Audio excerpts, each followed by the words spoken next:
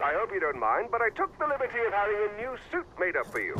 If you want to lead Kyrat when this is all over, you're going to need a sharper look than denims and fucking sneakers, my boy. And that jacket, oh, don't get me started. Why on earth do you need so many zippered pockets? What are you keeping them all? Panfuls of meat? I suppose you do. I'll make a note for my tailor. Uh, Ajay's jacket, zippered meat pockets.